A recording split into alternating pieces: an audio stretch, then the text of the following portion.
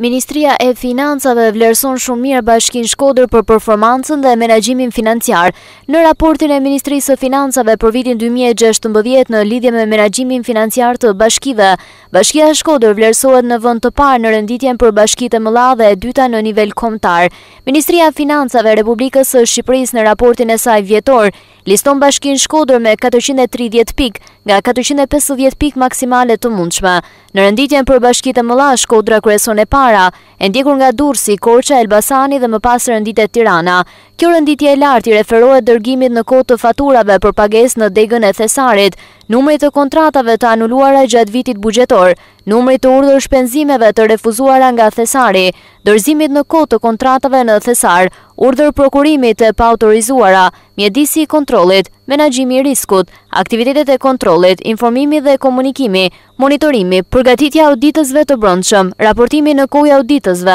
monitorimi i pyetësorit të vetëvlerësimit të auditësve të brendshëm, cilësia e raportimit të auditësve të brendshëm dhe pozicione aktuale të auditimit të brendshëm dhe të paplotësuara.